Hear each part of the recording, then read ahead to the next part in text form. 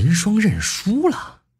伴随着他这认输的话一出口，好家伙，整个看台上啊，所有观战的人先是足足沉默了三十秒，之后彻底就爆炸了。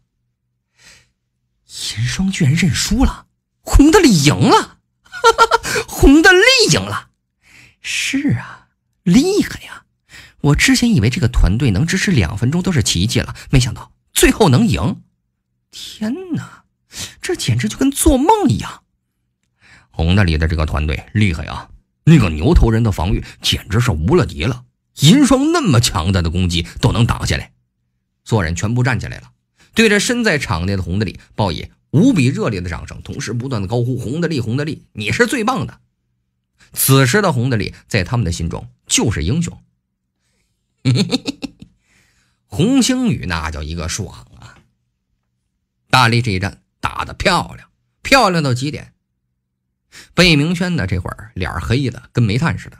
洪星宇是嘿嘿笑着看向贝明轩：“ 哎呀，哎呀，你的那些钱我就不客气了啊！这还有人主动给送钱儿，好啊，好啊，好啊，这种感觉不错呀。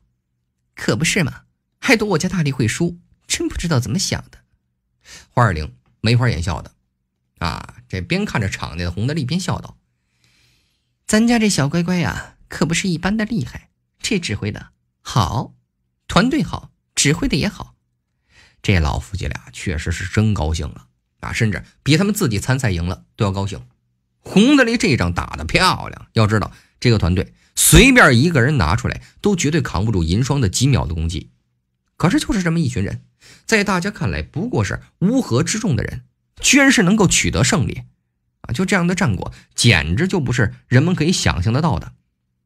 而贝明轩此时就非常的郁闷，本来以他的眼光来看，银霜获得胜利那就是铁板上钉钉的事儿，否则的话，他也不会这么主动的上门跟红星宇赌。可是谁能想到，银霜居然输了，而且还输的这么彻底。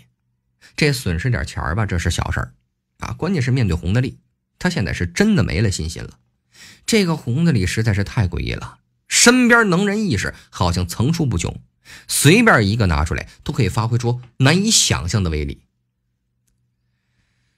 这个洪大力以后必须重点关注。朱允周是看着场中的洪大力，这拳头捏得紧紧的，声音阴沉。再叫他这么成长下去，以后会非常麻烦。他这担心不是说没有道理。洪大力到这边才多长时间呢？一开始在贝明轩和朱运周面前还脆弱的，只能是依靠家族的护卫的小角色。结果。这么短的时间之内，这家伙居然随便拉个团队出来，就可以战胜星界天才战的第一名银霜。就这样的成长速度，叫他怎么可能会不害怕？洪大力，我非杀他不可！北明轩是狠狠咬牙：“老朱，只等你决斗一胜利，我第一个就要铲除的是洪大力，后面咱们只能联手，只能等你的决斗了。”这洪大力太强了，这次。贝明轩是真的动了杀机了，而坐在朱运洲后面的朱宁宇看着洪德利，却是神色复杂。他后悔了，他这一次是真后悔了。洪德利受万人敬仰，而他却失去了任何的机会。洪德利的强大或许已经远远超过于他的想象。啊，如果说当初他没有瞧不起洪德利，如果他答应嫁给洪德利的话，那么或许现在就是另外一番局面。只可惜啊，一切没有如果。好啊，好啊，好啊。就看他的另一边，超神轩的院长福克斯笑得跟朵菊花似的，嘴儿都合不拢了。哎呀，看来还是咱们大力更厉害呀！啊，星界天台战第一名，应该是咱们圣龙星界了吧？这时候谁敢说半个不字啊？周围其他星界那些导师，嗯嗯嗯，一起点头。对对对，你们才是第一。哎呀，也不行啊，也不行啊！佛格斯是笑呵呵的，表面上是谦虚，可是这话里头的骄傲，傻子都能听得出来。哎呀，还是大力这孩子运气好啊，弄出来这么一个团队，厉害，厉害！这个团队的这些人呐，我打算都招进学员来，这个专门给他们再开一个班。那 一众导师满眼都是羡慕，他们怎么就挖不到这样的人才呢？看到了吧？看台上，空是轻声的跟着游牧明说道：“这个红的利就是这么神奇啊！啊，这个团队，据我刚才问的，其实不过就是他随便买了一群奴隶，完全是拿药砸出来的属性。对于我们来说，完全就是菜鸟。结果你也看到了，居然连银霜都只能认输。确实，游牧明现在是彻底的服气了。这个红的利还真是敢花钱哈！就这么一支团队，堆药的话。”那起码得上百亿吧，还有那装备，哎，恐怖啊！嗨，是啊，简直出乎了我的想象。空是想了想之后问道：“哎，我以后打算跟他混了，你呢？有什么想法没有？”一样，等出去了，跟他混，或许可以对我帮助很大。游牧明是点头赞同。战场上，这红德利慢吞吞的从这个太师椅上站起来，唐母亲是当即把这披风给他披上啊，那模样。就好像是一刚结婚的小媳妇儿。嘿嘿嘿嘿，嗯，银霜啊，红的力士走到银霜面前，就看着躺在地上的前星界第一天才，第一名，笑道：“哎呀，你说你非要跟我打个什么劲儿啊？我是个败家子儿，花钱败家那是我强项。看到这些人没？都是我买回来的奴隶。嗯，给他们砸药就花了一百多个亿的灵药，装备什么的也得几十个亿吧。所以我不是说了吗？我是败家子儿。”你跟我打什么呀？我输了，躺在地上。银霜是看着洪德利，无奈的摇摇头。连连你的奴隶团队我都打不过，我还有什么可说的？我还有什么脸面说自己是这一次的天才战第一名？不过洪德利，我有一个请求，无论如何你也要答应。哎，不是，这家伙居然有请求，这能有什么事儿啊？你该不会是想叫我亲自跟你动手吧？不不不不，可能啊！你想都别想，我这人能花钱解决的事儿，坚决不动手。红德利脑袋那摇得跟拨浪鼓似的啊！不不是，你误会了。银霜是缓缓的坐了起来，看着远处的古菲菲说道：“是这样，我我想挑战古菲菲，然后 这是我这次来这边最大的愿望，还希望你一定要答应。”我去。你挑战古菲菲来请求我干什么？那又不是我媳妇儿。你要挑战她，你自己亲自去问呢。洪德利是抽了抽鼻子，我又不是她老公，哎，她答不答应我怎么做得了主？不过话说回来，我要是她老公吧，我就直接揍你了，怎么可能会叫你碰我老婆呢？他这说的乱七八糟的，啊，说了一通。不过至少意思是表达明白了。你要挑战，你去问他，我这是没什么意见。就看他答不答应你了。明白了。听了洪德利的话，银霜是猛地站起来，也顾不得身上这衣服破破烂烂啊，直接冲着古菲菲冲去。很快到了地方，银霜是看着古菲菲，严肃的说道：“古菲菲，我要挑战你，请你务必要答应。”听到银霜的话，周围人全部愣了一下。不，这银霜怎么回事啊？怎么就这么坚持一定要挑战古菲菲呢？你有病啊！古菲菲是没好气的说道：“你要是欠揍，你去找洪德利去，我懒得动手。不，请你一定要答应我。”银霜是没有丝毫的气馁。自从三年前我无意中看到你在一个无人星上面修炼，那时候我就知道你是我毕生要追求追赶的目标。无论如何，我也要挑战你一次，来看看我们之间到底有多大的差距。阿雷，三年前，什么节奏？啊，这这这是什么节奏？哎，你三年前发生什么了？这时候洪德利走了回来，看着银霜，之后又看着古菲菲。菲菲啊，三年前你到底干了什么伤天害理的事儿，叫他这么念念不忘的？嘿嘿嘿，你跟我说说呗。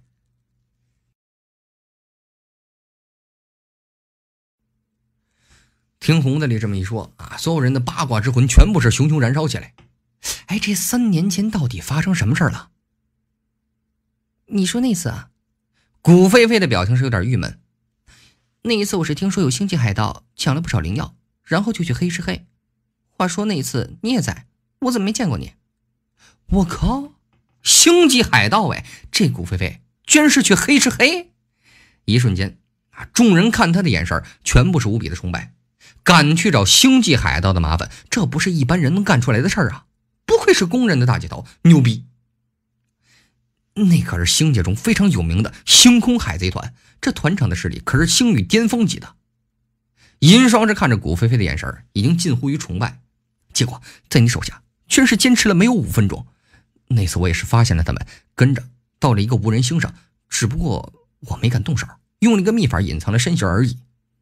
这下大家是知道了，简单来说就是银霜那时候实力不是很强，没敢出手，结果却看到古菲菲单枪匹马、牛逼哄哄的去黑吃黑，可以想象当时的画面对银霜造成了多大震撼。他会这么念念不忘，也就不难理解了。切，无聊的坚持。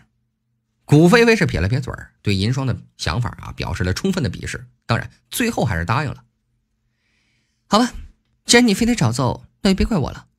说着往前走两步，看着银霜说道：“你回复一下吧，不然没法打。”古菲菲是答应了。古菲菲居然答应了，明白，明白。这个银霜愣了一下，之后满脸的兴奋，直接冲着天上大喊：“福克斯院长，我请求挑战古菲，请恢复我的伤势。”这上面看台上的人们一听到银霜这话，顿时面面相觑啊！要说银霜挑战洪德利还算说得过去，啊，可是他却说挑战古菲菲。古菲菲是超神学公认的大姐头不假，可是他有那么强大的实力，以至于银霜都能够挑战他，都这么兴奋吗？这个古菲菲我就知道他是超神学的大姐头，可是也没怎么听说他太强啊。是啊。这个银霜可是有接近三大家族族长的实力，就算差一点也不差太多。他居然主动挑战古菲菲，还这么兴奋，有古怪，绝对是有古怪。这个古菲菲到底是有多强啊？嗯，别说了，我我我我劝你别说了，看看就知道。我有预感，今儿晚上这结果出乎我们所有人的意料。另一边，这红星雨是看着场内的古菲菲。眉头是微皱，喃喃道：“老太太，你说这古菲菲的真正实力到底是怎么样的？我为什么总感觉她的实力极其强大？那种感觉，我只有以前在星界联盟那边遇到的人身上才有。我也感觉到了。”花月灵是点了点头，确实，这古菲菲身上的秘密太多，最近几年没人敢去惹她。原本我以为她的实力会比你差上一点，不过现在看来，好像不是这么回事啊。最关键的是，他的能力从来没有使用过，但是肯定有。嗯，看看吧，看看这个古菲菲能力到底是什么。古菲菲，请你一定一定要认真一点。一道金色光芒照在银霜身上，啊，银霜很快恢复到了最佳的状态。他是看着古菲菲，深深的吸了一口气儿。面对任何人，这个银霜都敢一战，甚至就算是三大家族的族长，他都有信心。哪怕打不过跑，这总是没问题的。但是面对这个古菲菲呢，他没有半点把握。知道了，你准备好了没？准备好了。银霜是向后退去，拉开距离，漫天的血雾再次出现。啊，领域，这是领域力量。面对古菲菲，这银霜一上来就使出了全部的实力，这没办法。古菲菲之前给他的震撼实在是太大，不全力以赴，绝对会死得很快，很惨。嗯，领域挺不错。古菲菲是笑了笑，这猛然之间啊，在他身体周围也出现了一片白光。那一片白光非常的柔和，照射在人的身上，没有任何的感觉。可是就在白光中间的古菲菲，这身形居然猛地唰是瘦了下来。她本来长得吧就是极其漂亮，这唯一叫人不敢接近的原因就是她体型实在是太胖了。可是谁能想到，她这领域一展开，身材瞬间就变了。好嘛，绝对的天使面孔，魔鬼身材，胸大翘臀，身高腿长，尤其是他接近一米九的身高，看上去无比的帅气，又带着淡淡的妩媚，给人的冲击力实在是太猛了。哇哦！唐木心的两只眼睛都变成心形了，不停的掐着洪德利的胳膊。菲菲姐好漂亮啊，之前没感觉出来，她这一变身简直就是完美的大美女啊！那身材，大力，你说是不是啊？你妹呀！这么玩命掐我，你说我回答是还是不是啊？领域，这个古菲菲居然也有领域！看台上，人们是纷纷的惊呼：“天哪！这个古菲菲居然强到这样的地步了吗？她不是天选者吧？不是天选者也能修炼出领域吗？谁知道呢？我就说这个古菲菲不一般，现在看来确实很强大呀，领域都有，那她的能力肯定也很强大呀！人人都在惊叹。而面对古菲菲的银霜，却是感到了无比巨大的压力。他也会领域，所以说对于领域的了解要远远超过其他人。古菲菲只是释放出领域那一刹那，银霜就知道古菲菲的领域远比自己的强大。这唰唰唰唰唰，双方的领域逐渐接近，碰撞起来。可是出乎所有人意料的，银霜的领域进入到古菲菲的领域之中，居然什么都没发生。啊，银霜固然是的，没有对古菲菲造成任何的伤害，而古菲菲的领域好像也没什么效果。这怎么回事？他们还没动手吗？不少人都非常好奇。按说领域对决，领域一旦碰撞那天就是天崩地裂，可是此时看两人之间好像是很平和的样子，这就完全出乎了所有人的意料。嗯，血色领域确实有点意思。古菲菲呢，淡淡的说了一句，随后身形唰啊，猛地消失在了领域之后。随后，战场上面的两方领域猛的是扭曲起来啊，先是古菲菲的这个白光领域开始逐渐。压制银霜的血色领域慢慢蚕食，血色领域的范围几乎是在以肉眼可见的速度在不断的缩小，最终彻底消失。银霜的本体也终于是在此的显示出来。怎么会这样？怎么会这样？顾菲菲，你的领域力量到底是什么？为什么我的领域会消失的？嗯，其实吧，我的领域挺简单的。古飞飞这重新变回了之前那个胖胖的模样，甚至还打了一饱嗝。我的领域本身没有什么攻击性，不过却可以吃到别人的领域，而且还挺补的，感觉不错。这古飞飞身上绝对是有大秘密。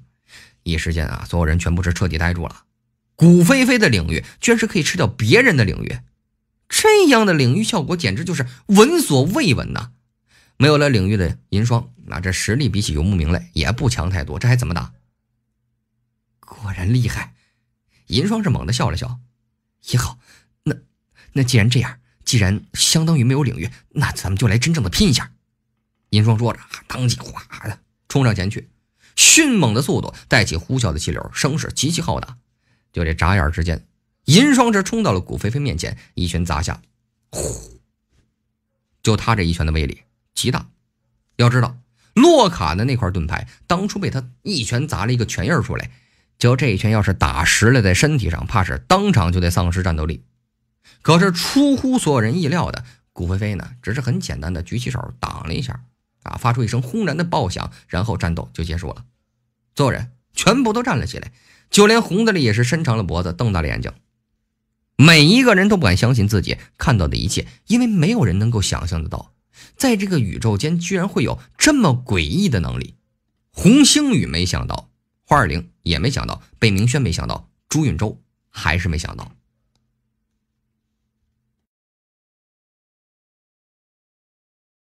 欢迎来到听书网，听二二点 com。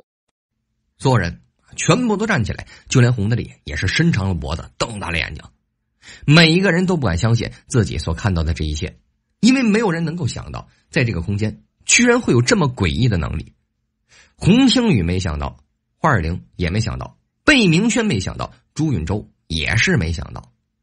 要知道啊，在人们的认知中，元素类，比方说金木水火土风雷之类的能力，是人们常识之中威力最强大的一类。或许有更强的能力，就比方说这个洪星宇的像素魂师，可以把接触到的东西变成像素分解掉。可是谁也没想到。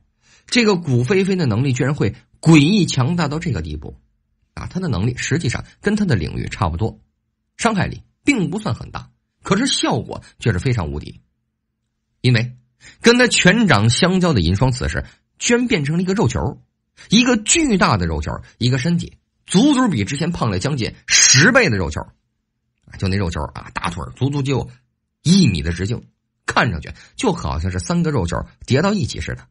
那身体就不用说了，腰的直径几乎是一米五以上，两条胳膊下垂都已经做不到了，厚厚的脂肪堆着，啊，只能是平伸在身体两侧。那脖子甭说了，早就看不到了，就这胸脯的肉，哎呀妈，至少得有这罩杯以上。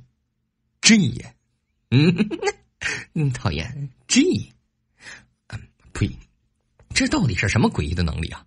啊，能将一个原本身材堪称完美的人，瞬间变成一个恐怖的胖子，这尼玛身材变成这样还怎么打？这、这、这、这！银霜是汗如雨下，这全场所有人全部都是汗如雨下。银霜足足愣了有十多秒钟，最后这才大声叫道：“你这到底是什么能力？怎么可能会是这样？”胖胖魂石，古飞飞是耸了耸肩膀。可以把控制接触的一切东西的胖瘦，都变成胖的，当然也包括我自己啊。说着，啊，忽然之间又变成了之前那副无比漂亮、绝对魔鬼身材的模样，然后瞬间又变了回来。只能控制横向，控制不了纵向。嗯，咱们还继续打吗？听了古飞飞的话，全场所有人全部倒抽一口凉气儿啊！胖胖魂石，我的天哪，这尼玛诡异的能力打个屁呀！你看看银霜现在的状态，腿儿都伸不开，能站着已经很不错了，有没有？我人说这没法打，这银霜是无比郁闷的啊！又认输了一次，领域被吃，身体被弄成这样，这还打什么？赶紧把我变回去！这简直是噩梦一样的体型啊！他说着，还伸了一下腿这没办法，没迈出去，然后瞬间就跟胖的一个肉球似的身体，哗轰人倒下。你别说继续战斗了，能站着是个奇迹。看到刚才没？伸个腿都不行，这再打下去只能是肉靶子。对方想怎么打他就怎么打他。你别说古飞飞了，你就随便来一人都能把他揍死。好吧，那咱们之间的对决就算结束了。古飞飞这走上前去，啪，拍了银霜一下，唰一声，银霜终于变回了之前的状态。这绝对是从地狱到天堂的感觉。银霜是泪流满面的，还是瘦子好。银霜又败了一次，而且这一次败的无比的干脆，啊！这下任何人都不敢再怀疑洪德里团队的实力了。人们的想法已经是发生了一百八十度的大转变，他们甚至认为洪德里没参加后面的星界天才战第二阶段，这是银霜捡了个大便宜，这才是真的。哎呀，看来这银霜运气不错呀！要不是洪德里没参加第二阶段的星界天才战，他的这个第一怕是拿不到手。可不是。这一次混了一个第一名，哼，这可是相当划算的事儿了。你甭管怎么样，他起码都是拿过第一名的。现在看来，洪德利才是真正的王者归来。哎，话说，我现在越来越期待后面的比试了。嗯，洪德利的团队实力这么强，后面的阵营战就不知道能怎么样了。人人都在议论洪德利的团队啊，同时也全部对后面的阵营充满了期待感。福克斯院长，以至于。就连各大星界的导师也都是有点迫不及待。麦卡龙是最着急的，这次洪德利胜的这么干脆，我都有点等不及了。要不咱们直接开始下一轮？他这话一出口，其他导师全部哦哦点头。这个佛格斯是摸了摸胡子，对于各大星界的人都对他这么尊重，还是很爽的。所以他想了一会儿之后说道：“嗯，先不着急，休息一天吧。就算想马上开始，至少……”也得叫大家好好休息一下，养好精神。这阵营战一打，那可就得十几天呢，着急也不差这一时半刻的。你们说呢？嗯，他这话还是很有道理。众导师同时点头表示同意。于是福克斯这就站起身来，宣布本届天才战彻底结束。大家回去呢，好好休息一天啊。之后明天开始就是真正的大规模战役，阵营战的比试。就这网络上面。人人几乎都在讨论这一次红德利漂亮的啊拿到了星界天才战的话题。我说，这红德里可真是够厉害的，看到没？看到没？随便一个奴隶团队都能战胜原天才战第一名，这简直不敢想象啊！那个银霜可是绝对不弱的。可不是打的，这红德里简直无敌了！哎，你们是不知道，当时现场我是看了，爽到飞起，那牛头人防御无敌呀！我跟你说。银霜那么强大的攻击干不到他，嗯，不光是牛头人防御无敌，他们团队的魔法师全部都是瞬发魔法，太牛了！啊，瞬发魔法师一团都是，还有那个地精，就那大炸弹的威力啊，简直恐怖啊！就像这儿的议论，满网络都是红的里，几乎是一夜之间就成为了家喻户晓的人物，俗称网红。啊，这红家庄园之中，哎呀，哎，你好，你好。呃，我是萨尔玛星界的德隆萨罗，这次来到这边是想跟您谈谈生意合作的事儿。一名英朗的中年男子一见到花二玲啊，赶紧是伸手，还请一定要给一个薄面好说，花二玲是带他进了会客室。此时会客室之内已经坐了好几个人啊，全部都是各大星界的皇族。而洪家这边，叶家家主叶无忧这位盟友也赫然在座。就这德隆萨罗坐下来之后，看了看周围那些各星界的皇族，先是打了一招呼，之后看见花二玲，好奇的说道：“那个花主母，不知道家主洪老爷子可在呀？谈生意，那尤其是谈跨星界的生意，自然是得家主在上，这不然不大好谈。我家老头闭关去了。”花二玲自然明白这德隆萨罗的意思，微笑着说道：“有什么生意跟我谈就行了，我这把老骨头啊，还是能做得了主的。”嗯，有这话就成了。啊，这德隆萨罗顿时心神大定，微笑着说道：“这样那没问题。呃，我这次来呢，是想跟贵家族研究一下灵药以及镶嵌宝石的贸易问题。”他说着，看了看周围那些星界皇族，补充着说道。啊，当然，我想大家都是知道了洪德利的事儿。这位小兄弟的实力简直超乎于我们的想象，呃，所以我觉得呢，跟圣龙星界合作绝对是大有前景的事儿。我想大家自然也都是因为这个原因才来的。他这两句话先表明来意，之后盛赞洪德利，听起来叫人非常感到舒服。果然，其他那些星界的皇族纷纷点头，其中一人是笑道：“那是啊，是啊，圣龙星界出了洪大力这么个天才人物。”以不是天选者的身份，却拿到了星界天才战的第一名。这件事情我知道之后，第一时间就赶来了，以免叫别人得了先手。结果到了这儿，发现我还是来的晚了。他这话说的有趣儿，众人顿时大笑。花二玲啊，最喜欢听的就是大家夸奖洪德利。小乖乖现在可是他的骄傲，那是正对心思呀，嘴儿都快合不拢了。瞧你们说的。我家小乖乖呀，就是运气好了一点 哪有哪有？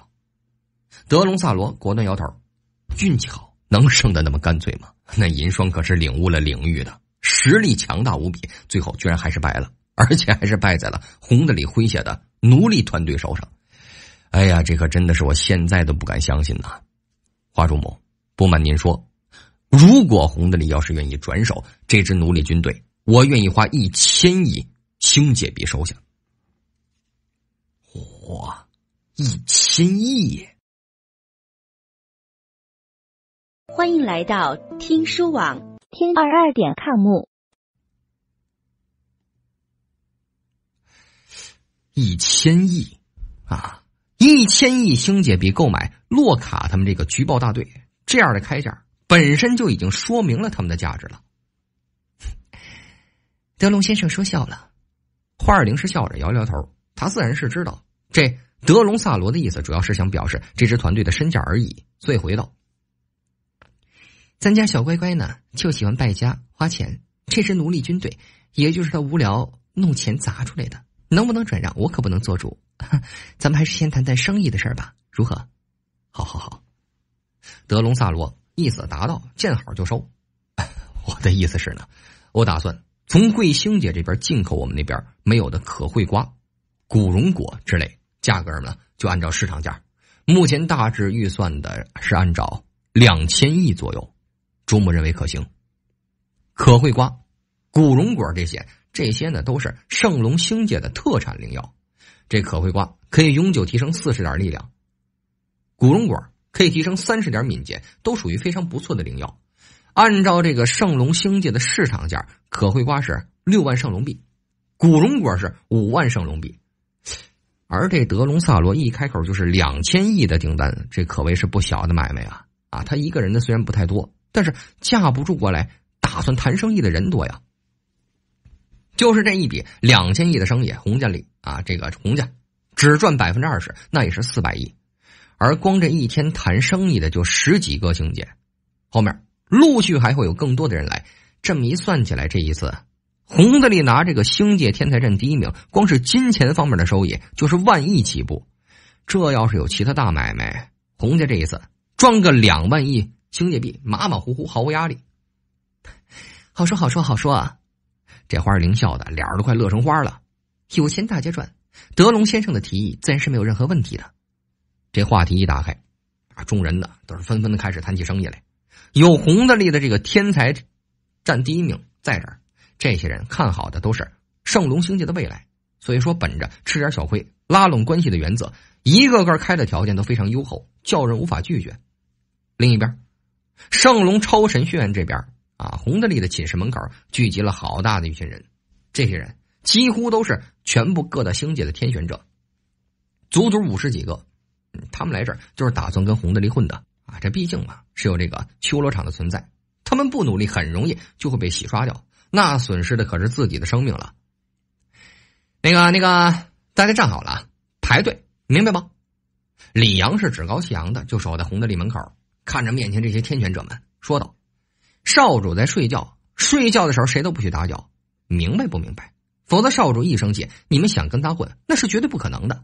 只要少主开心了，你们才能开心；少主要是郁闷了，那大家就都得郁闷，谁都跑不了。”一群天选者啊，这这齐刷刷点头，明白明白。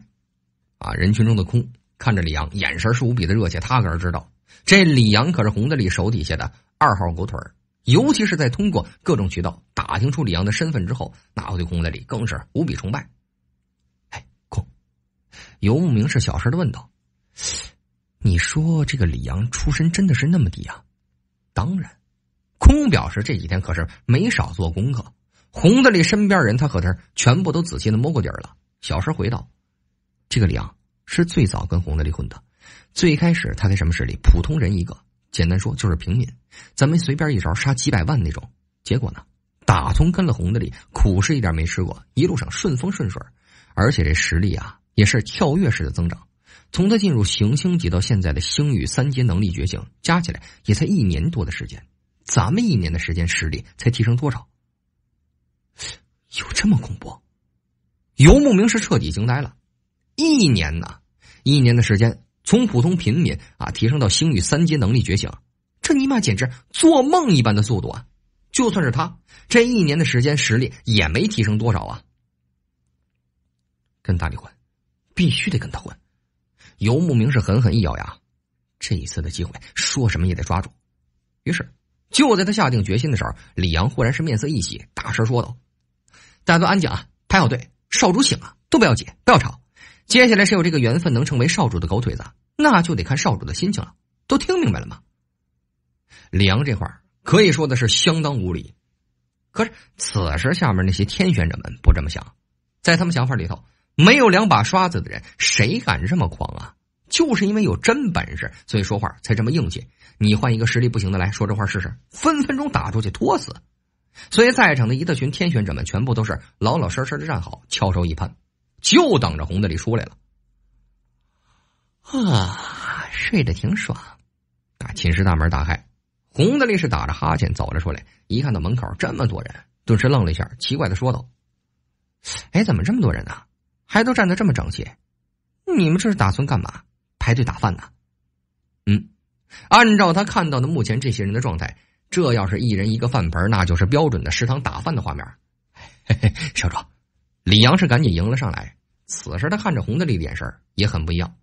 人们一般管这种感觉叫做暧昧。少主，您休息好了。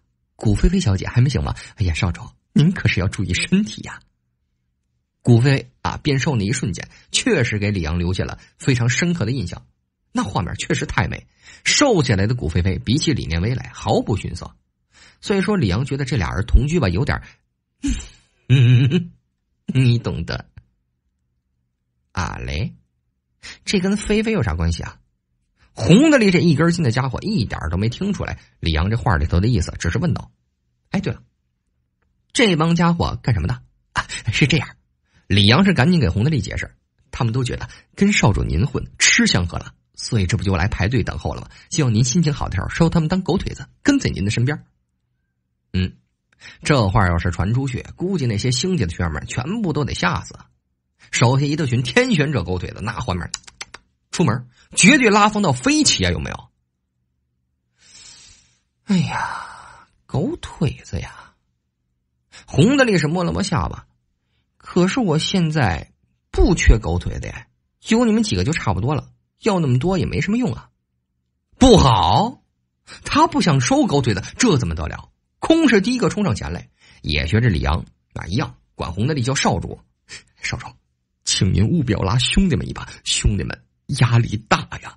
这天选者表面风光，可是上面有修罗场镇压的，一旦进入修罗场，那就只有一个人能活着出来，这其他的都得死。啊，咱们在这儿现在动手，没人愿意。不过也没人想被别人拉下太多，至少总得有希望是吧？所以这不就来找少主你了吗？希望说能带着咱们，叫咱们实力提高一些。哎，等到了这个修罗场，嗯，到时候是死是活，一切全凭本事，死了也怪不得别人。他这块说的很是诚恳，那意思就是咱们现在是拼了命的提高实力。洪德利和古飞飞不是天选者啊，没有什么竞争的理由。可上面还有银霜呢，这实力差距太大，将来就只能等死。哎呀，这个什么破修罗场说的确实有点吓人哈。洪德利本身呢是一个和平主义者，一听空说，可可怜啊，确实有点动心了。哎，那这样吧。明天不是说要弄那个什么阵营战吗？到时候你们就跟我一个主营，行不行？咱们试试。哦，跟少主一个阵营，那可是相当不错的机会啊！啊，顿时这些天选者们全部都兴奋起来。可是很明显，这一次一共是来了六十二名天选者，这儿就五十多人，不可能全部跟洪德利一个阵营。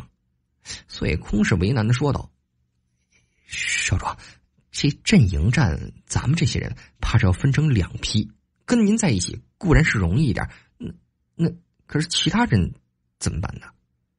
这倒不是说为了别人着想，关键是空也怕自己不能跟红德利一组，所以话不能说的太死。嗯，其他的看表现呗，对吧？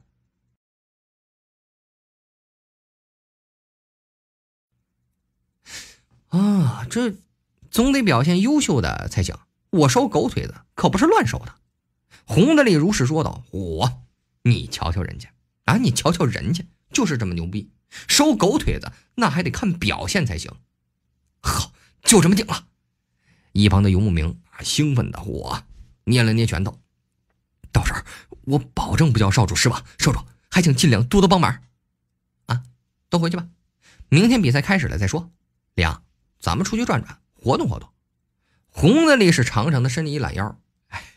好嘞，少主，您这边先走着。李阳是跟在这个洪德利身后，那这一番耀武扬威啊，只留下了一路充满羡慕、嫉妒、恨的眼神。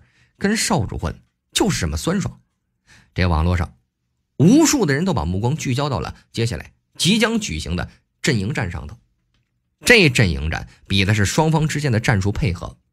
兵团作战，从这些天才之中啊，这个挖掘出军事人才进行培养，将来位面战争开启，可不是想单挑就单挑的机会。尤其是位面战争刚开始那段时间，战术尤其重要。那个阶段，铺天盖地的敌人，就一场战争，动不动就是啊几百万、几千万兵力的投入，这种情况你想单挑门儿都没有。明天就要阵营战了，兄弟们，你们觉得洪德利这一次能赢吗？哎呀，不好说呀！阵营战跟天才战那可是不一样的，那可是真正的大兵团作战。这局部战斗吧，随便都得几百人，而且能力的效果会进一步压缩。这战斗主要体现的就是兵团战术，这得看战术天才。是啊，双方每十万兵力死后居然可以复活，可是死一次就扣掉一点兵力，尤其是这里面都是天才，就怕到时候吧不听安排擅自行动。那就没法打。不听安排，我觉得这个倒是问题不大。毕竟不出意外的话，洪德利这边就是洪德利指挥，对手应该就是银霜了。这俩人都是绝世天才，虽然洪德利之前表现好一些，可是兵团作战，谁知道能怎么样呢？就这样的议论可以说铺天盖地，吸引了整个圣龙星上所有的人。人们全部都在期待着接下来的星界阵营战啊，期待着洪德利和银霜。在这场阵营中，又能碰撞出怎样的火花来？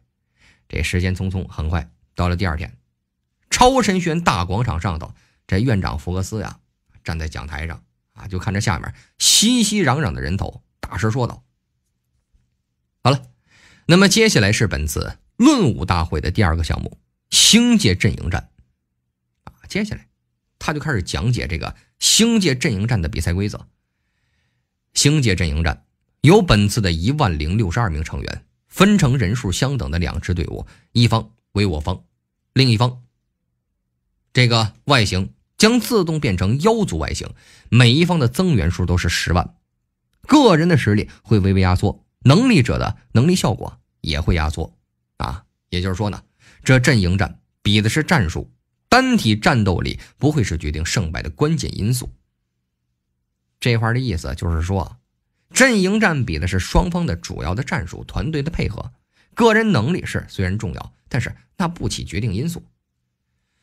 呃，虚拟世界自动生成地形，双方各有一位最强的领袖，妖族一方为妖王，人类一方为一位巨龙之王。啊，在场地之内还有各种中立军团可以辅助战斗，所以大家进入战场之后，我的个人建议是先熟悉地形，争取到更多的盟军，这样对战斗会起到非常大的帮助。下面众人纷纷点头，对对对，这说的没错啊。总的来说，这就是在模拟小规模的位面战争。就这个位面战争开启之后吧，一般来说啊，会有数个甚至数十个位面参加战斗。不过再如何战斗，大体上也是只分为两个阵营。简单来说，一个是攻方，一个是守方。而这个时候，争取到盟军加入己方就尤为重要。另一方面，位面战争虽然会出现无数的大能参战，但是在初期呢，啊，这战场大多数是集中在星球之上。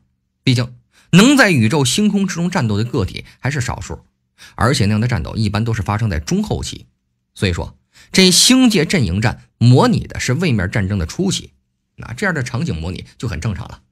解说完了战斗规则，福克斯是看了看全场的各位学员，啊，随后一挥手，好了，呃，大家呢，这就进入虚拟世界，准备按照系统的分组进行战斗。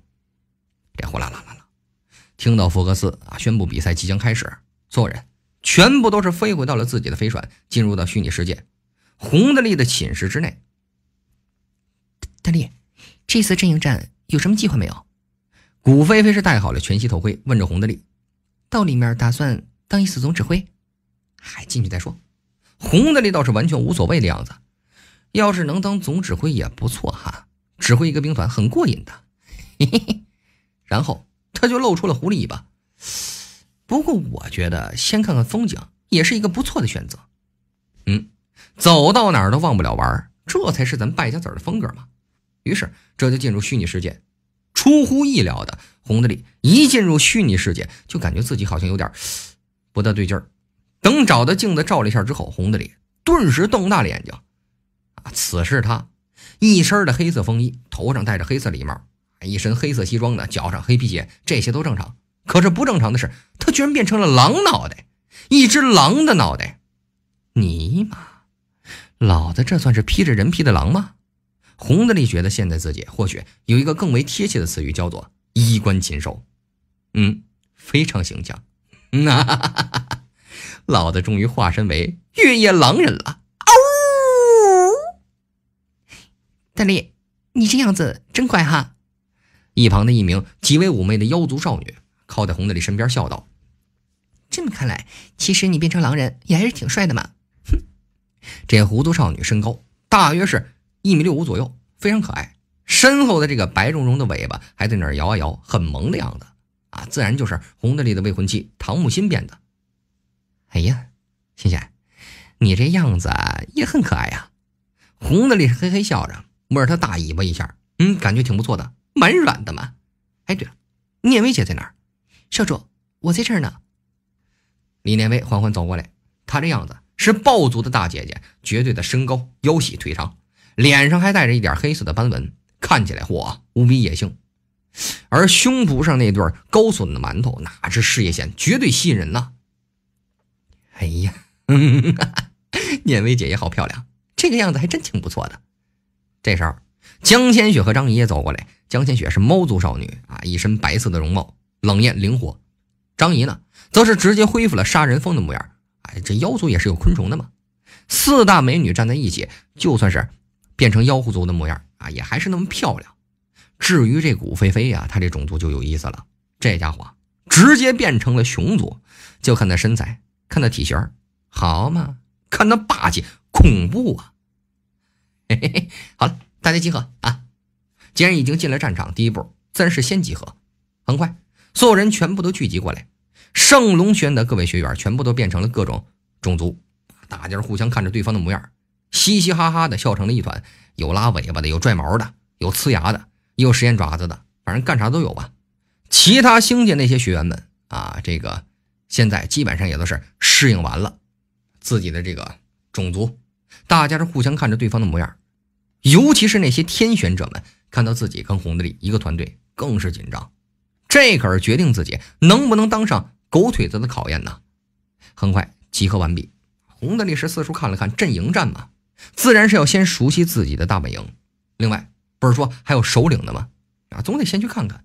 他们集合的位置是大本营的一片广场之中，两旁是各种战争物资器械，这后面则是一个巨大的堡垒。估计这妖族的首领就应该是在那儿。狗腿子们，咱们先走着，先去看看首领再说啊！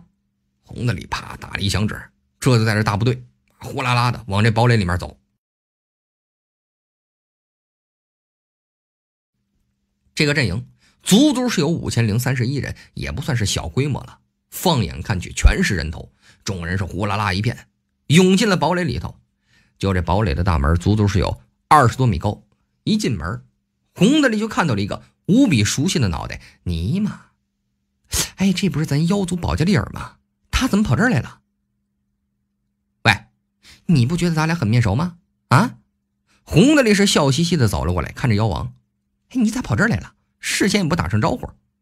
他本来算是开一玩笑，却不想这妖王是猛地咆哮起来：“杂兵，你居然敢如此与本王说话！”信不信本王直接把你剁碎了喂狗？抽风呢？啊！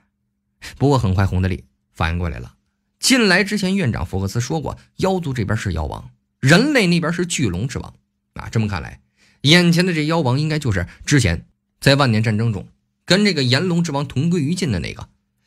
那人类这一方的应该也就是炎龙之王了吧？哦。既然是这俩老家伙是首领，那就有意思了。对于妖王的实力，洪德里可是真正见识过的。这老家伙当时还只是一个大脑袋呢，光是残魂，一声怒吼就把整个炼深渊里面所有的人，还有巨龙全部都震晕。如今他来这当首领，就算实力被压缩不少，估计也不能太差。好了，那既然看到老大了，咱们就先出去吧。洪德里啊，这就带人出去。等重新回到广场上面，洪德里这就开始安排人。嗯，这样适合当斥候的都出来吧。咱们得去先去侦查一下地形。哦，对了，咱们总得有地形记录仪吧，不然没地图到时候没法打呀。地形记录仪在这种考验战术的战场上面非常重要。有道是天时地利人和，天时目前双方对等，人和问题也不大。红的利好歹也是啊，这干躺了银霜的牛逼人物，他的话谁敢不听？所以现在就是差地利了。在这种战场里面，谁能更好的了解地图，谁就能更好的抓住胜利的机会。其实对于胜负吧，洪德里倒是没放在心上啊，他本来就没想过赢。问题是，他可是听说赢了的是要前往星界联盟去进行军事战术培训，相当于深造。这尼玛怎么可以？老子是败家子儿，老子才不要去深造呢！败家花钱，这才是咱的主业。去那边深造，一大群人盯着，怎么受得了？所以嘛。红的那是准备要输的，但是放水归放水，那是偷偷进行，可不能叫人发觉的，那就不好了，是吧？地图你都不探，放水也没这么放的，对吧？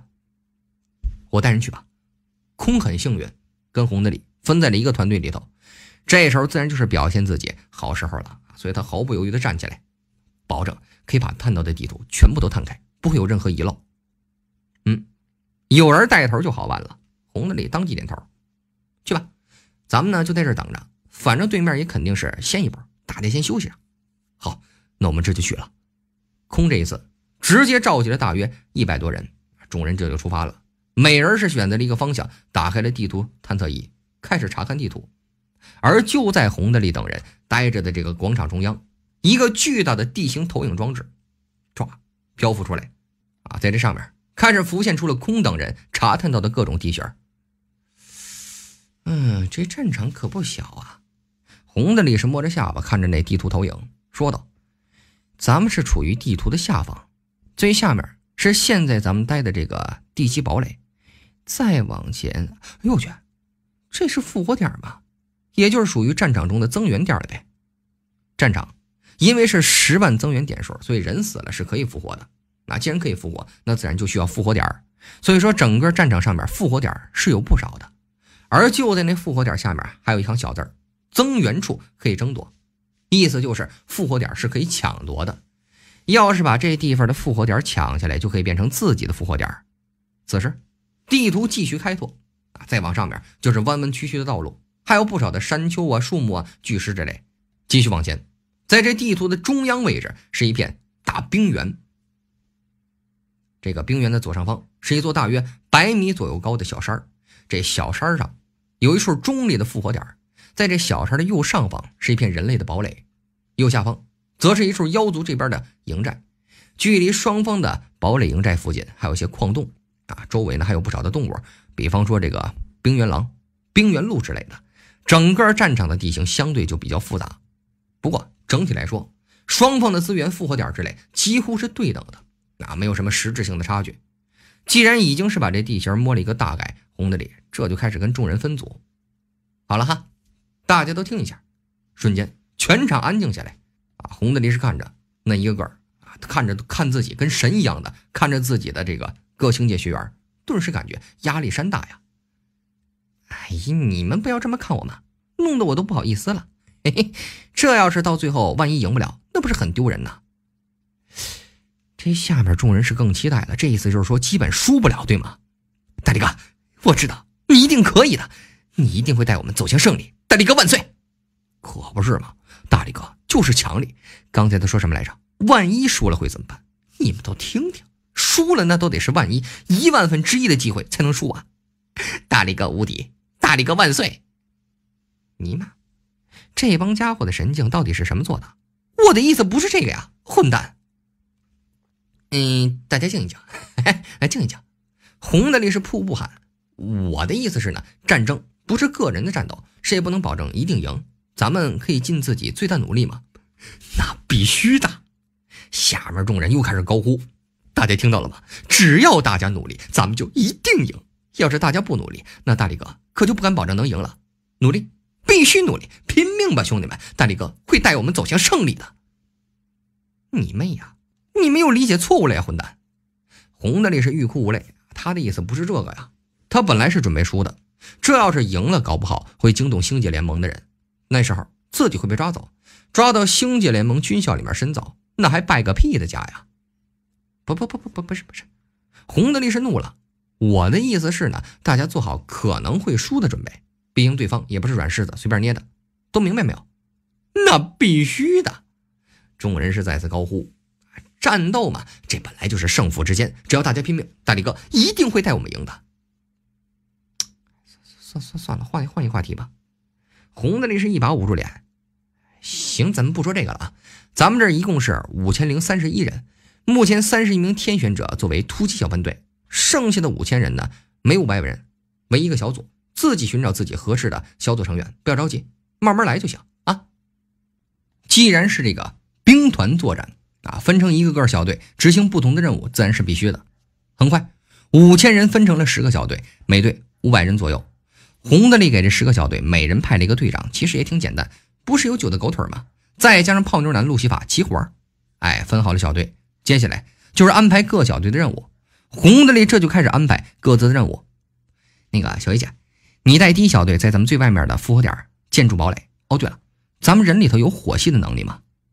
这时候，一个不知道从什么星界的学员站了出来：“大力哥，我是火系能力，不过实力不强，不知道行不行。”能烧矿石就行。红的力表示那都不是事儿，就你了，以后你的代号就叫做矿工。然后他又喊：“那什么，来几个力气大的，咱们还需要几个打铁的。造堡垒嘛，铁匠是必须的。”于是啊，有好几个一看就是力量型的猛男站了出来。红的力是分别给了编号：打铁一号、打铁二号、打铁三号，一直到打铁二十二号。这烧矿石的、打铁的都有了。然后红的力开始安排具体的。这个第一小队带着矿工和打铁一到二十二号，就到中部的那个山下面那个复活点去盖堡垒，这儿就是咱们的第一道防线啊。凌小一是当即领命而去。洪德利是继续，第二队李阳，你带着你们的队员呢，在这堡垒的左边再盖一个堡垒，嗯，弄结实点哈。到时候远程攻击能力的，全部都要上去。好嘞，没问题。李阳也是领命而去。这时候，其他队员啊，全部都是伸长了脖子等着洪德利的分工。洪德利是一挥手，这其他的第三到第八队到中部冰原的这座山上集合，抢占复活点，都去吧。第三到第八队领命出发。这时候，剩下最后两个小队，红的利是随便安排了一下。你们负责保护建造堡垒的第一队和第二队成员，出发。哦，另一边，人类阵营这边，银霜是看着已经逐渐摊开的地图，皱眉，摸着下巴，仔细的思考着策略。之前在红的利手底下输的太惨了，这一次比的不是个人能力，他已经实验过，这儿的任何人实力都已经是大幅度缩减，能力的效果也是大幅度缩减啊！为了验证这一点，他甚至还特意跟队伍成员过过手。得出的结论是，现在的他一次最多只能打倒五个人，再多就不行了。既然知道了这一点，那么接下来确实就是需要仔细的思考战术。嗯，队伍里面有谁对于行军打仗有心得的，站出来。了解完了大体的情况，银双是看着下面说道：“为了可以得到最后的胜利，大家有什么想法都可以说出来，参考一下。如今单体战斗力既然不是决定性的因素。”那大家也就开始提各种意见，一时间乱糟糟的，说什么的都有。银霜老大，咱们的实力不比对方弱，我觉得啊，要是死拼一下，只要咱们的救援点消耗的比对方少，就没问题了。我倒是觉得，应该是抢占有利的地理位置，一步一步推进。防守吧，哎，防守吧，十万增援点，咱们只要防守的好，很快就能把他们消耗光。听着下面的议论。银霜也是暗自皱眉，这么下去不是个办法啊！他已经失败了一次了，实在是不能再失败。那样的话，对他的信心造成极大的打击啊！行了，行了，行了，大家都闭嘴吧。银霜实在是有点郁闷，这么讨论下去没有任何作用。谁对自己的战术有信心的，可以站出来单独说。众人，你看看我，我看看你，很快，一名成员站了出来，说道：“不如我说说我的战术试试。”大家都听一下，看看能不能行。这是一个大约二十来岁的年轻人啊，一头金色的短发，样子很是清爽。好，你说，你叫什么名字？哪个星界的？银霜是点了点头。我叫威尔斯，迪拉星界的学员。年轻人是自报家门之后上前一步，指着地图说道：“从目前的这地图来看，敌我双方的敌情分布应该差不多。目前唯一一个值得争夺，也是比较容易争夺的区域，就是中原的冰原，在这里。”也就是这座小山的复活点，他这指着那小山说道：“这小山进可攻入敌军腹地，退可防守我方最前方的复活点，位置非常重要。所以说这一仗应该是最关键的一仗。”嗯，银霜是看着地图，摸了摸下巴，点头说道：“跟我想象的差不多。一旦拿下来，对于我军的战斗会有极大的作用。就这么定了。这样，大家跟我来。”咱们先把这个复活点抢下来，之后再研究下一步的计划。有银霜带队，人类阵营的五千多人当即全体出发啊，向着中央的位置呢说啊，全速前进。有兵力不停的赶路啊，这双方的兵力经过大约五个多小时的急行军吧，很快全部到了最前线的复活点。到了这儿，那就需要做最初步的调整，然后开始准备发动攻击。就是这看台上。人们是看着战场之中双方的兵力调动，全部都是紧张了起来。这可是真正的大规模兵团作战，跟位面战争唯一的区别就是参战人数缩减了一点，其他的几乎是没什么差别。如今这边一开动，顿时吸引了所有人的注意力。哎，动了动了，看来他们是打算先把这兵力全部派到前面去啊。是啊，只是防守是没有什么意义的，战场之中只有进攻才是王道。嗯，等双方照面就有好戏看了。洪星宇是看着洪德利这方的兵力所在调动，摸着胡子低声说道：“看大力的意思，这是打算去抢占中部的那个无主的复活点不过他这派出去的兵力不够，怕是要吃亏呀。”嗯，按人数来看，好像只有一半的人过去吧，另外的都是在前线上面停下来了。花月玲是满心的疑惑，奇怪的说道：“他这是打算干什么呢？”此时双方都已经是兵到前线，啊，红德利这边大约是三千人，向着那小山出发，而矿工和二十二名铁匠却是向着附近的矿洞里面跑了过去。跟着他们一起跑的还有两个小队的成员。红德利的这个诡异的安排，叫全场所有人都有点摸不着头脑。不少人都很好奇，洪德利这是干什么呀？啊，分了两个小队去那矿洞里头，他该不会是打算在这时候弄矿石什么的练武器吧？不好说啊。洪德利一向喜欢出人意料，哎，看看吧，这场战斗一定会很精彩的。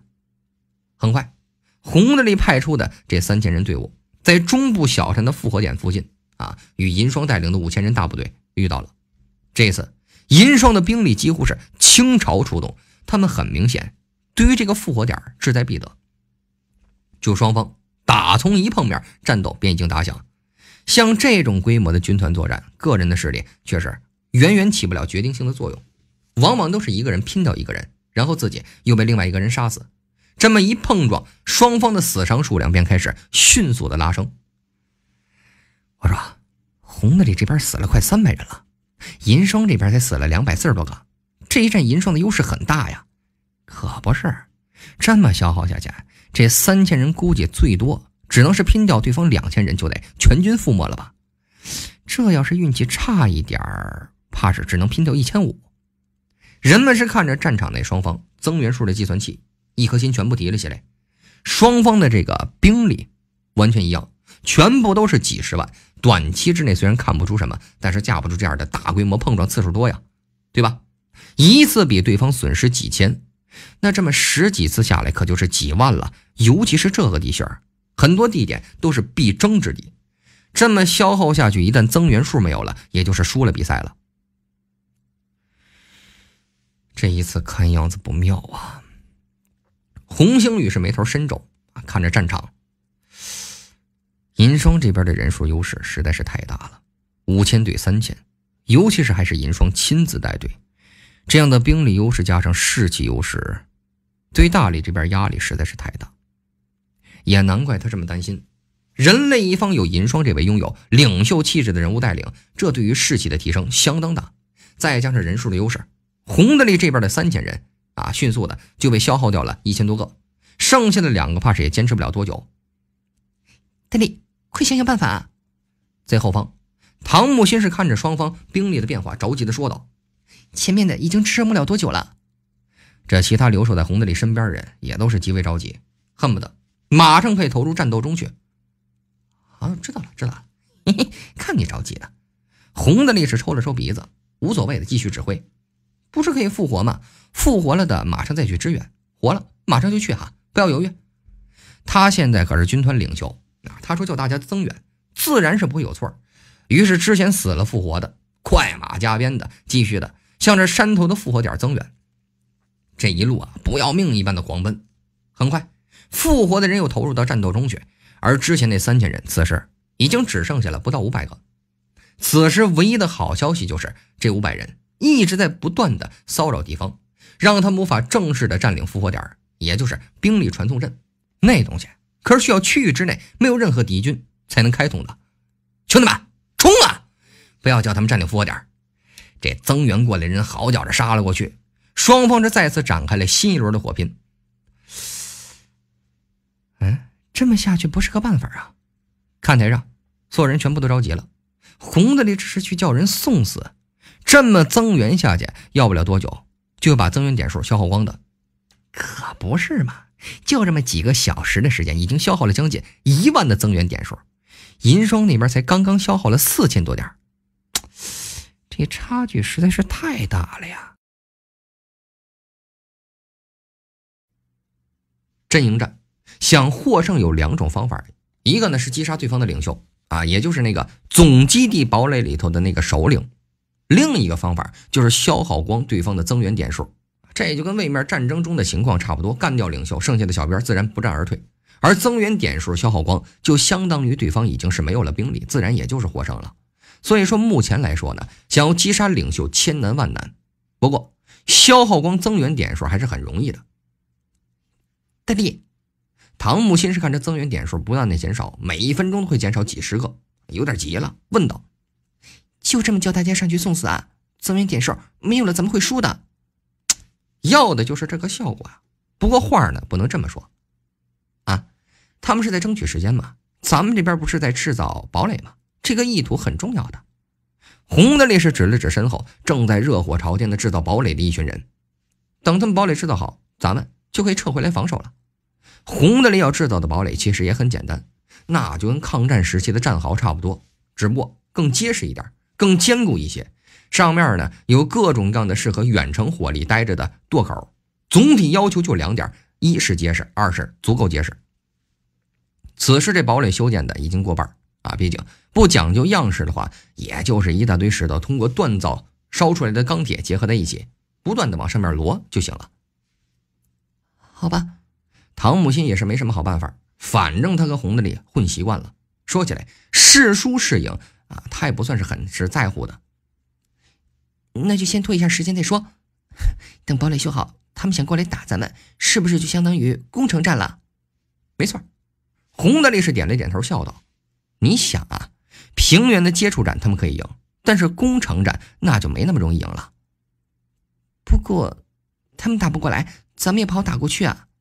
唐木心是指那个小山儿说道：“他们占领了那儿的复活点之后，居高临下，咱们先把那儿抢回来也很难办。”那肯定啊。红的烈士忽然问道：“可是咱们为什么一定要抢那儿呢？在这儿防守，来多少杀多少，不更好吗？”这，唐木星忽然觉得。洪德利的话说的好有道理啊！是啊，在这儿背靠堡垒，附近就是复活点，在这儿防守明显是更好。为什么要去抢那个复活点呢？这时候，洪德利这边的增援点数已经消耗掉了一万两千多点啊！堡垒则是在快速的建筑之中。此时，已经是有不少的团队成员有些急了，空是着急的说道：“大力，叫我们也上吧！前面怕是要顶不住了。那小山复活点一旦叫他们拿下来，咱们再想冲就没机会了。”嗨，不要紧，嘿嘿，要淡定。红的力是笑嘻嘻的，我跟你们说，要有王者之风，要有这个宇宙毁灭，我自然一笑，一点都不害怕的心境才行。这么一会儿就受不了，怎么能行？不要着急，嘿嘿，不要着急，淡定。好吧，看着增援数不断减少，空也只能是努力的保持淡定，就当没看见。接着看台上啊，人们的手心已经捏出了一把冷汗来。红的里这边这么不停的冲锋，那几乎是送死一般的行为。增援数已经掉到了八万七千来点，而银霜这边才掉六千点不到，一比二的伤亡比例，再这么下去输定了呀！红的里这是搞什么呢？这么下去还不如干脆认输啊！可不是啊，咱们圣龙星界好不容易在之前的天台战扬眉吐气了一把，这一次要是就这么输了，那之前积累的那些荣誉都得倒回去大半啊！快点想办法，这么下去怎么行呢？有那眼睛好使一点的，指着红德里后方，大声说道：“那个红德里他们堡垒快建造好了，那个一建造好，应该就可以退回去防守了吧？应该是了。打防守战，应该是比这种攻坚战要划算不少。估计红德里就是这么想的。既然已经了解了一些红德里的想法啊，人们这就开始继续的仔细观战。像这种战争一样的场景，那看起来还是相当震撼的。所以说。”尽管此时已经接近了大半天，所有人谁都没有感觉无聊。终于，就在人们不断的盯着双方的增援点数，直到红的里这边增援点数只剩下八万的时候，红的里这边的堡垒终于建造好了。而此时，银双那边的增援点数还剩下九万两千多点，这绝对是悬殊的差距啊！这在以前的阵营中，就算是最大的差距，最后分出胜负的时候，大约也就是相差一千以内。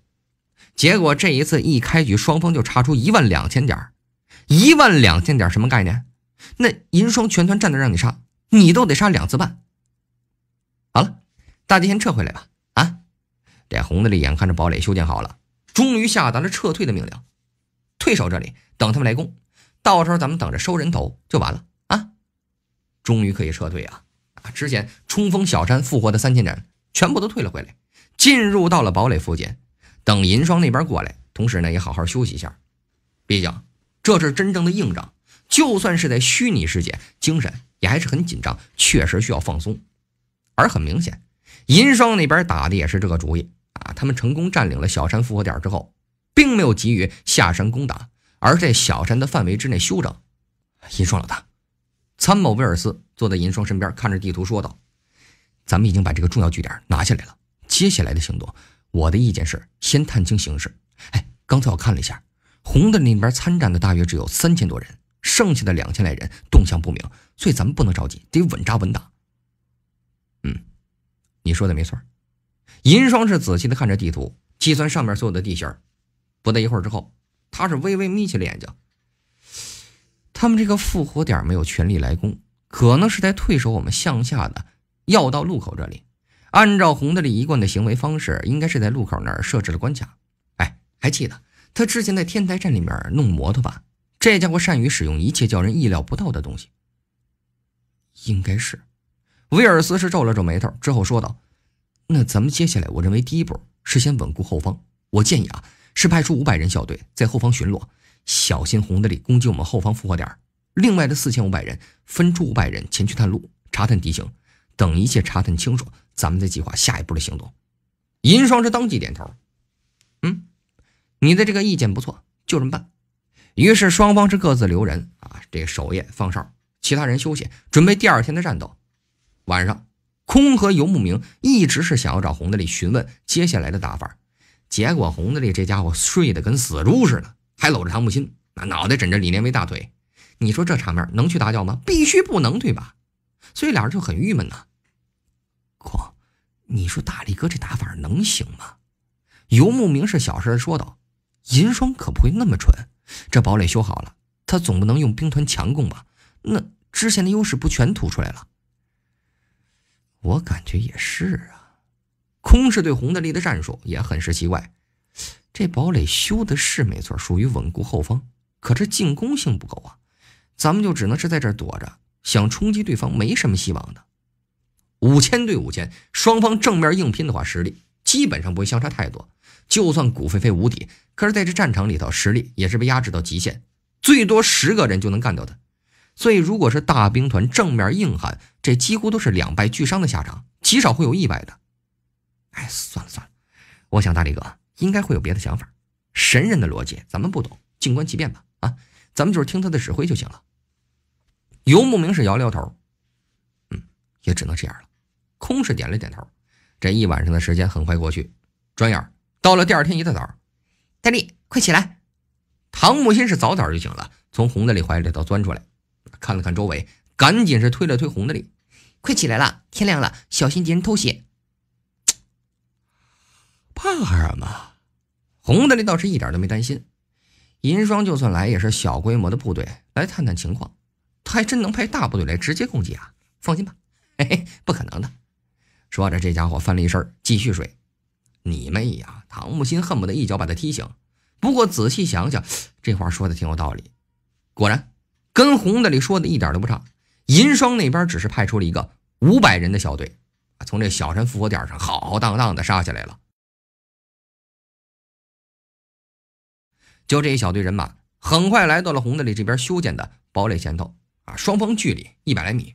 那支小队看了看这边。足足是有十几米高的堡垒，连打都没敢过来打，掉头就往回跑去。你说什么？银霜这问着那五百人小队的队长。洪德利在那边路口修建了堡垒，把路堵得严严实实，根本就过不去。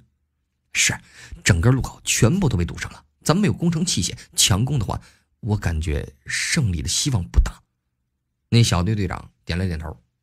银霜是深深的吸了一口气，尼玛，我就知道。这个红的里有古怪，果然呢，这货居然在这儿造堡垒，而且还造的这么快，臭不要脸！银霜很郁闷，他确实被红的里的这一手给弄了一个措手不及。现在的形势非常简单啊，向下面的路被红的里这个堡垒给彻底封死，只要你想继续的深入，必须得经过这儿。可是那堡垒的墙壁足足是有十几米高，全部都是用巨石堆起来的，你想强攻谈何容易啊！可是不攻击，难道就在这儿跟红德利消耗？老实说，跟红德利打消耗战，银霜心里头一点底都没有。啊，倒不是说怕红德利那边战斗力爆表。关键是洪德利这家伙的脑袋里头不知道怎么长的，各种的奇思妙想。现在只是一个堡垒，等时间长了呢，这家伙保不准连机器人都能弄出来。这个洪德利确实难对付，银霜恨得呀咬牙切齿。不行，咱们不能等，跟这个洪德利等不起，他的鬼点子太多，咱们只能是以速度来取胜。时间拖得越长，咱们的优势就越小。一旦这家伙弄出点什么别的东西来，到时候后悔都晚了。参谋威尔斯也表示同意，目前也只能这样了。不过我的建议是兵分三路，一路五百人负责镇守后方，防止红的里偷袭；一路百人在这边防守复活点，剩下四千人再去突击他们的营地试试。好，就这么办。银霜是当即点头。这威尔斯说的话很有道理，行军作战不是个人的战斗。那各方各面都得照顾得到，万一他们这边防守，那边偷袭，那是很被动的。于是很快，大部队开始集结，整装待发，足足四千人的阵容从这小山复活点出发，向着红队里的堡垒方向狂冲。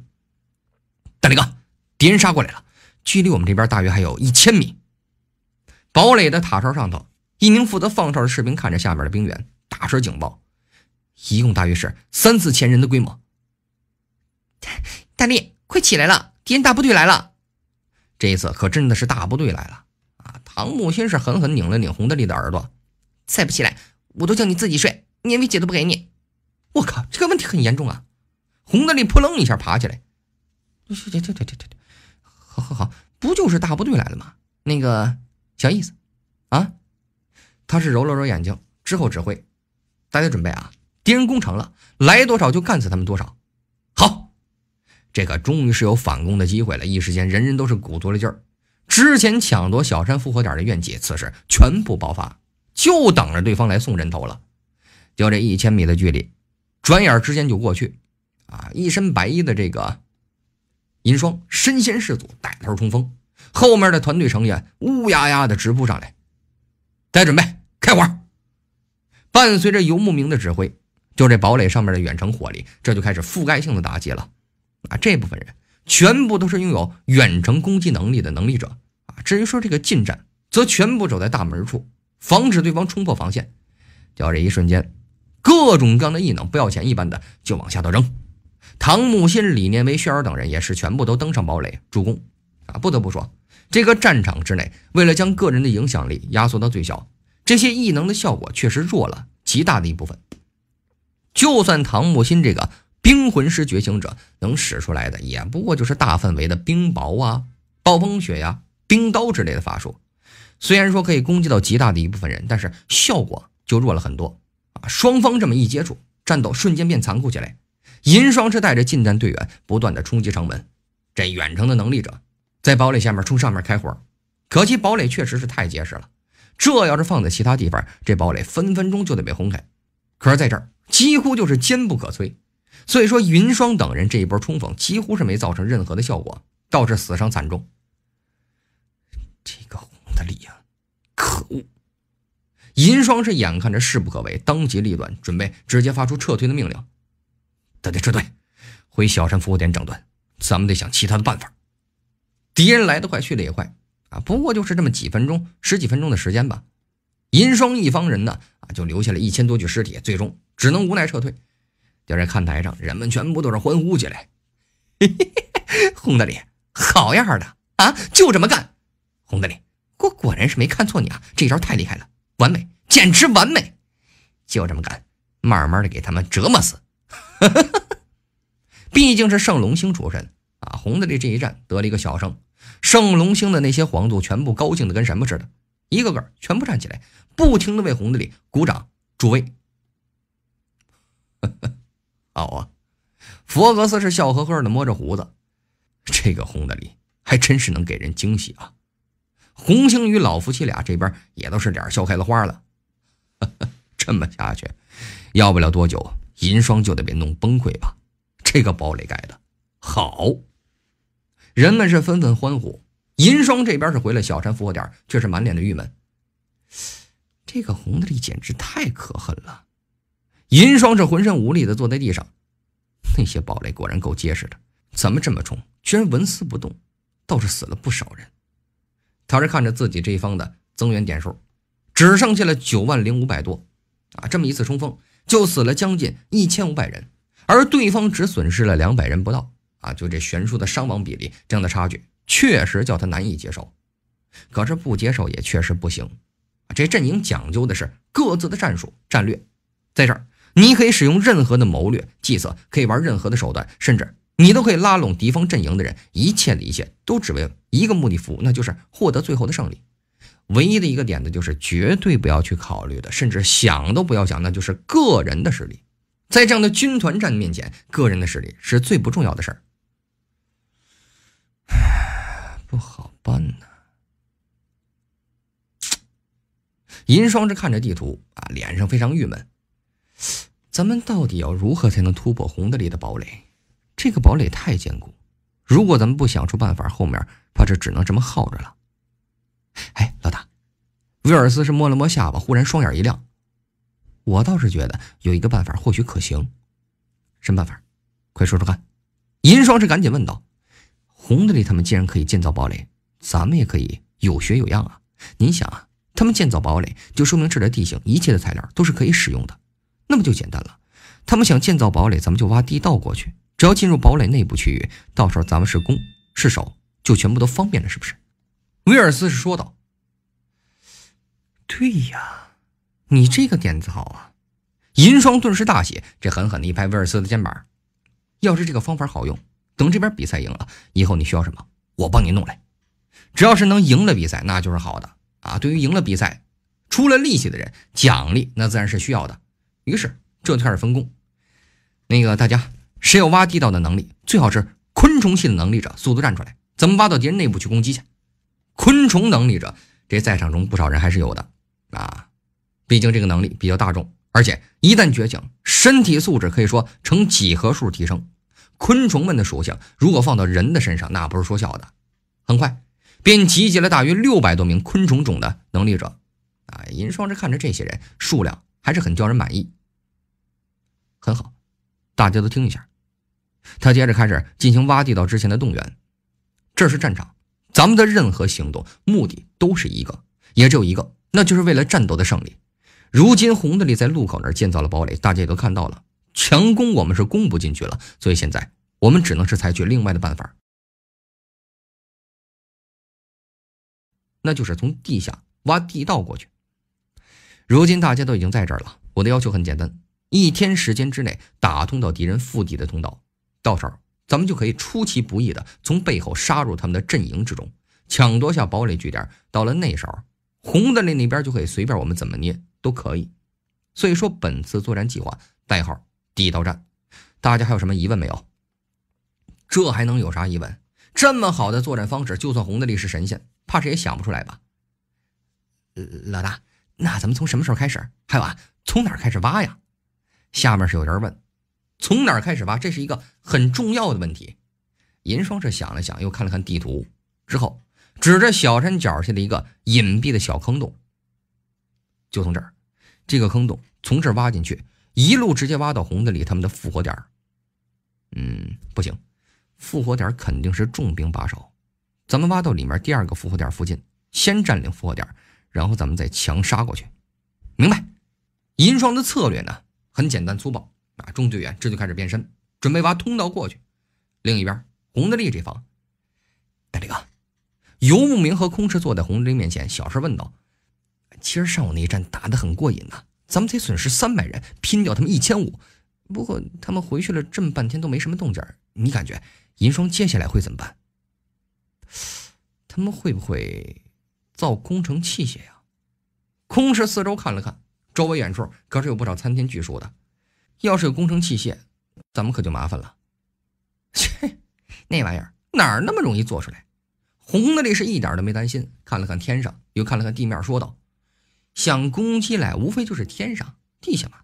天上它是飞不起来，那就只能是从地下喽。不是天上就是地下。”红的力这话一说完，游牧明和空顿时被红的力这哎呀这崇拜的不行不行的，五体投地啊！这老家伙都能想到，这简直无敌了呀！仔细想想，可不是吗？想强攻，除非是制造出大型的工程器械才有可能。而除了这一点，其他的想仔细攻击的话，只能是从地下挖过来。毕竟在这个战场，就算是昆虫种的魂师能力，也都是飞不起来的。要是能飞，还用什么战术啊？直接飞起来就是一顿火拼，不就完了吗？既然是不能飞，就只能是挖地儿。而很明显，昆虫种的能力挖地，那可是一把好手。那大力哥，游牧民这声大力哥叫的可谓是心服口服。那以你的意思，他们会从哪挖过来复活点啊？肯定是复活点呗，不占领复活点，看看咱们怎么拼。洪大力是理所当然的说道。不过啊，依我看，他们肯定不会在咱们这个复活点挖过来，毕竟这儿可是重兵把守，挖过来想争夺也没什么机会，所以肯定是从下面的复活点过来，先神不知鬼不觉的占领那儿，然后全军过来跟咱们火拼，到时候就是真正拼实力的事儿。而他们的增援点数比咱们多了那么多，你们懂了吧？明白？这还有什么不明白的？洪德利这个分析几乎是把银霜的战术完全给分析了出来。银霜现在最大的优势是什么？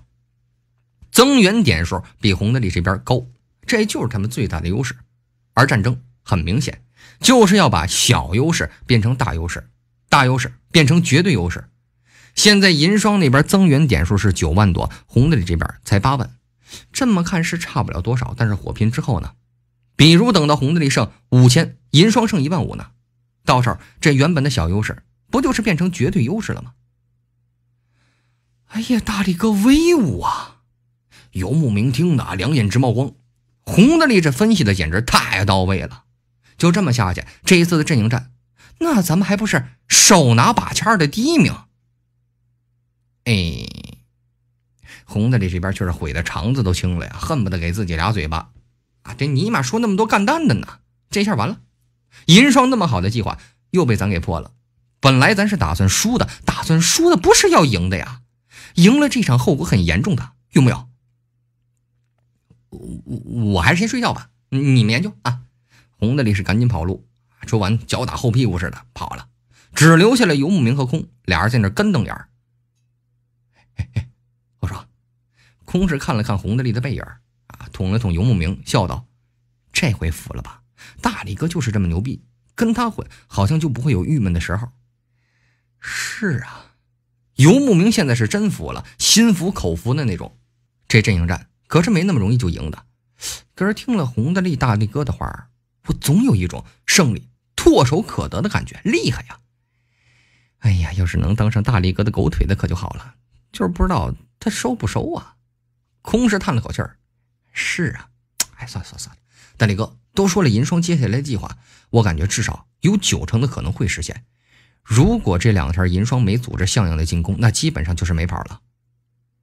嗯，行了，咱们也该去布置了，在下面那个复活点的附近弄点布置，不然他们真挖过来，咱们只靠拼人头那就没意义。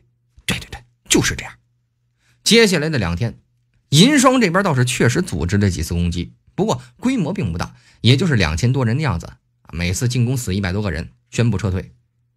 这看台上的众人看的都是一头雾水，不明白银霜这搞的是什么机关呢？银霜的地道战计划那个位置刚好是死角，观众们只能看到银霜派人在那儿做什么，但是却不知道他做的是什么事儿。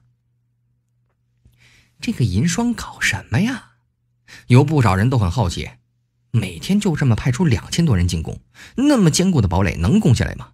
至少也得造点工程器械什么的呀，不然这么干那不是去送死了吗？可不是嘛。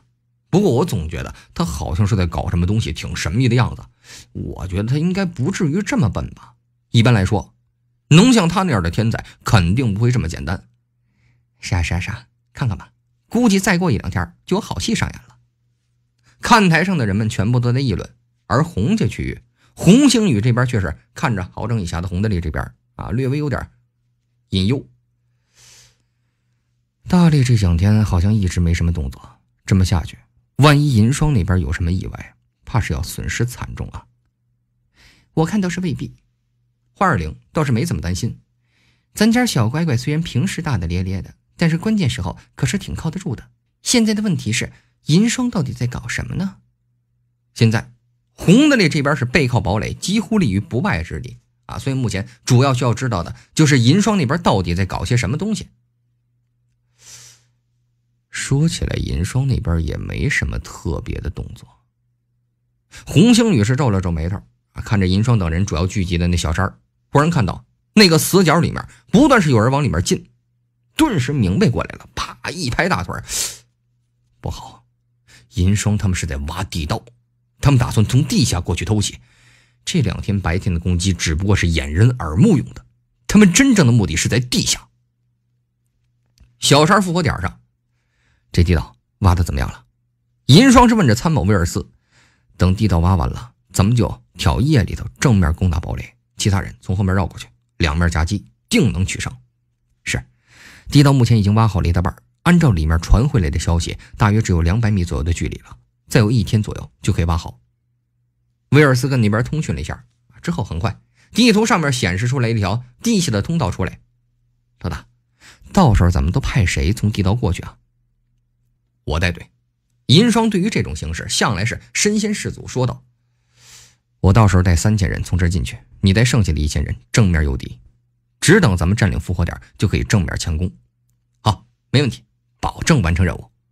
于是第三天下半夜三点钟。这正是一天之中人们最容易疲劳、最困的时候。红德利这边的阵营自然也不例外。地下地道之中，快，时间紧急，这个时间一过，到时候很容易会出现大麻烦的。